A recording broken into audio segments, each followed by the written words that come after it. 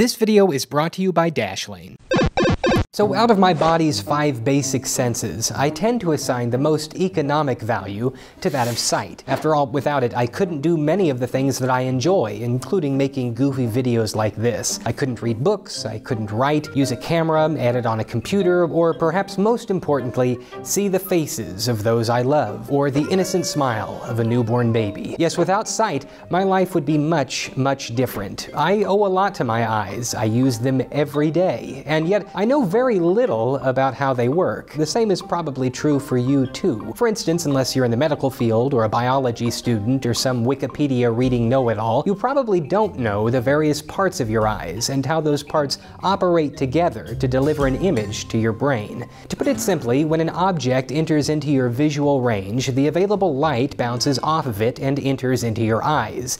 There it passes through the cornea, pupil, and iris to your eye's lens, which then reflects the light onto your retina, a layer of tissue in the back of your eyeball that contains over 100 million light-sensitive cells. The light hits these cells and triggers nerve impulses that pass through the optic nerve to arrive at your visual cortex located in the back of your brain, and here, the visual image is formed. All of this happens instantly. You can think of it like an organic form of the mechanical operation of a camera, where light passes through several filters and a lens before hitting a sensor which produces an image. In that same same way, when light passes through your human eye, your eye's lens causes the image to be inverted when it hits your retina.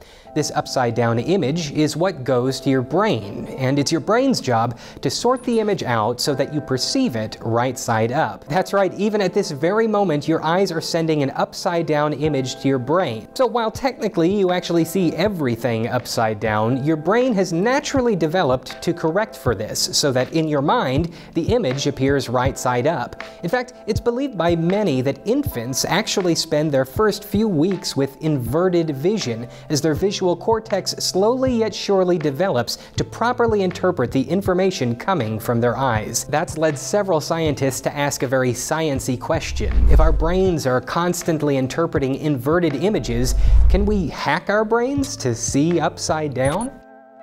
In the 1890s, George Malcolm Stratton, an American psychologist, pioneered the study of perception in vision by experimenting with a special pair of glasses that flipped the wearer's world upside down, literally, inverting the image up and down and left and right so that everything the wearer saw was flipped and flopped. This meant that the test subject's brain would need to train itself to interpret the image correctly.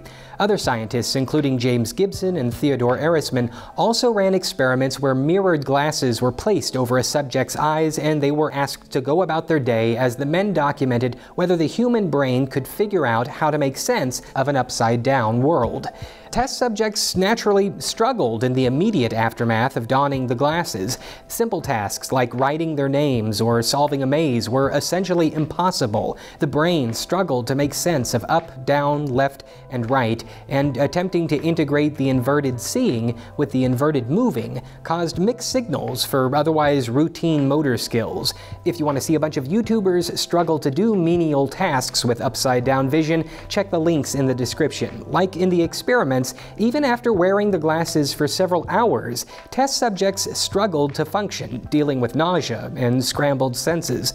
But Stratton, Gibson, Erismann, and others found that after wearing the upside-down glasses for a couple of weeks, subjects' brains adjusted so that they could function and operate normally.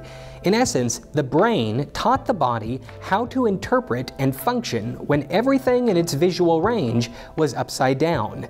Imagine flipping your vision and then being told to ride a bike or write a letter or pour a cup of coffee. Turns out, in less than a month, your brain would likely be able to adapt to the new environment. Of course, once the experiment was over, test subjects had to take the glasses off, and this presented a new problem. Their brains needed to adjust back. Luckily, within a day, most subjects' sense of sight returned to normal. This, in return, helped scientists to narrow down which parts of the visual cortex are trained to interpret spatial and directional awareness, and how that information is sent to the rest of the body. So yes, it is possible for you to hack your brain to see upside upside down, but let's be honest, the glasses they look pretty goofy to wear around all day, so really what's the point? All this information, of course, helps to drive home the real existential question that humans grapple with every day, namely, can you really believe what your eyes are telling you?